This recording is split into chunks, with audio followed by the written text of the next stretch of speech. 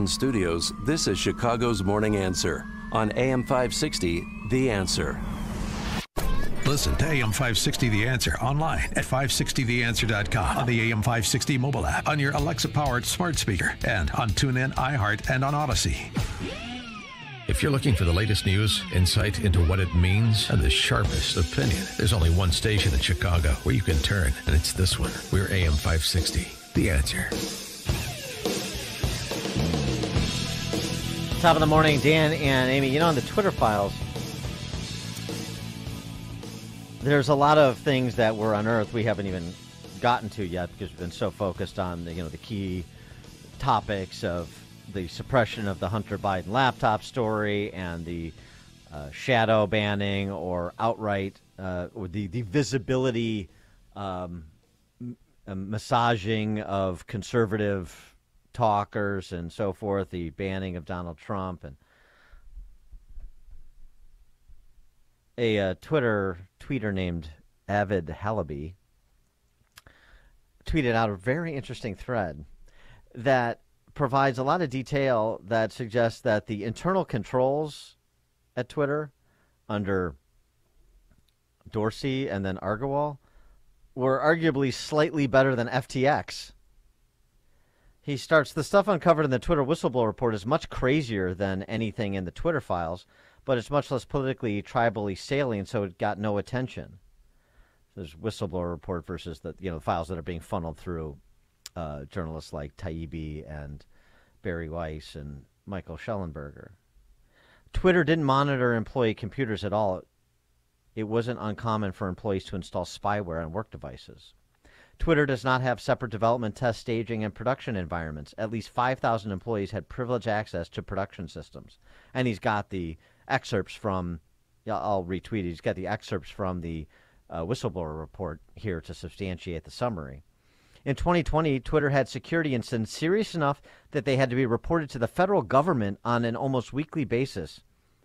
And meanwhile, uh, Parag Agarwal was lying about how secure Twitter was. On January 6th, the whistleblower wanted to take action to prevent potential sabotage by a rogue employee, he learned it was not possible for Twitter to secure its production environment. The whistleblower re- realized that a data center failure could potentially cause the permanent loss of all Twitter's data. He shared this fact with senior leadership, who instructed him not to put it in writing to the board. A few months later, that exact eventuality almost came true, and only a Herculean effort by Twitter engineers prevented, quote, permanent irreparable failure, unquote. Twitter had no software development life cycle, life cycle and mis- misled both the FTC and its board about this fact for a decade. This whistleblower informed the previous CEO, Agarwal, that there were thousands of failed login attempts to Twitter's engineering system every day, and he, the CEO did nothing. Twitter did not keep backups of employee computers. They used to, but then the system broke, was never fixed, and execs decided this was good because it meant they couldn't comply with regulators and so on and so forth. It's just one sort of uh, example of corporate malfeasance after another. I just find you know find this interesting as since since under those CEOs and all of the blue check leftist mafia types, this was the portal through which democracy was going to be protected. For more on all of this, the Twitter files related and whistleblower report, since I've raised it. Pleased to be joined again by James Bovard, member of the USA Today Board of Contributors, author of Lost Rights and nine other books. James, thanks for joining us again. Appreciate it. Hey, thanks for having me back on the show. Um, you had, I mean, if you want to comment on the uh, the sort of corporate governance and day to day management of the of Twitter, I, I, think that's as interesting too. And I'm surprised Elon Musk isn't saying more about this. But it's like what I inherited and why these people needed to go, just on the basis of sort of systems and work performance. Yeah, it sounds like a very interesting story. I'm learning about as I listened to you this morning. Okay. Um, well, uh, this is a topic of uh, additional thought and consideration that we'll explore.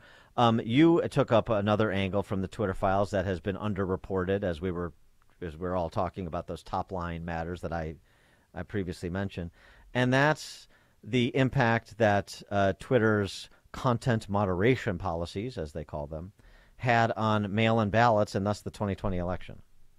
Yeah, there was a huge effort uh, uh, by the uh, Department of Homeland Security, a new agency that had been created as part of that DHS in 2018, gave grants to a bunch of uh, uh, uh, nonprofits and uh, com- uh, um, uh, companies tied to universities, uh, who who then basically carried out the federal orders to pressure social media to suppress any criticism of mail-in ballots from mid 2020 onwards, and because that was their number one target, I think they understood that if Biden was going to win, it was going to be because of a massive number of mail-in ballots, which was the case.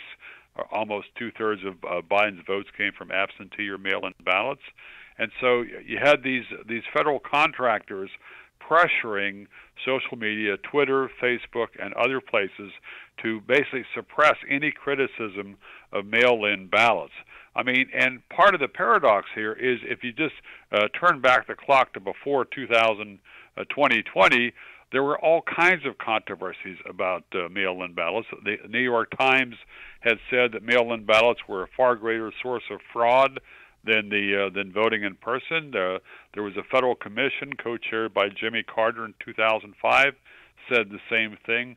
All these bright red warning uh, uh, signs about mail-in ballots and fraud, but all those signs magically vanished in uh, mid late 2020 when uh, those ballots gave Biden the presidency.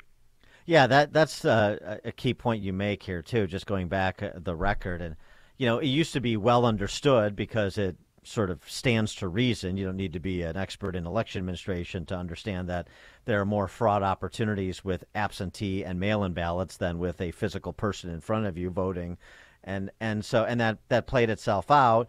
Um, and you remind us and you remind us number one that you weren't allowed to say what the New York Times reported a decade earlier, and and as you say, these commissions had concluded and so forth. That was all washed away, and um, we need to be reminded about how many ballots were not counted, spoiled uh, in swing states like Nevada and Wisconsin in 2020.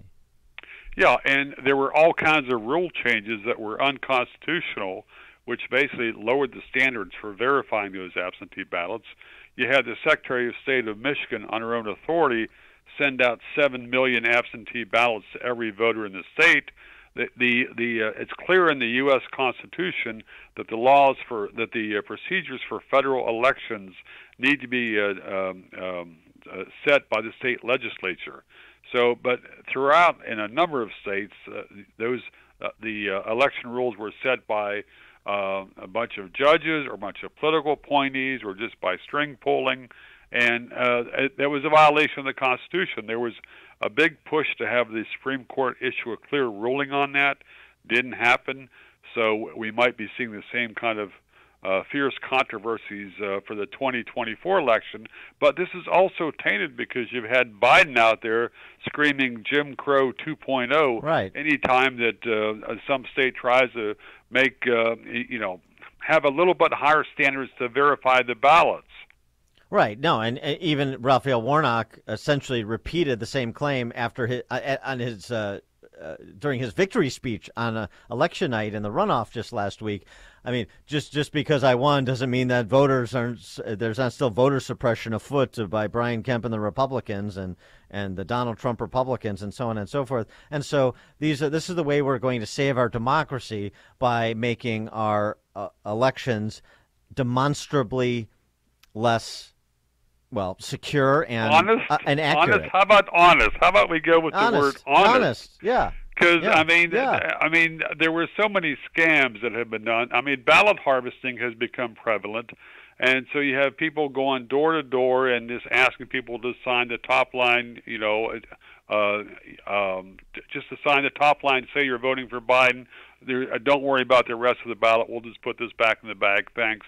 There's, uh, you know, Here's chain cookie. of custody.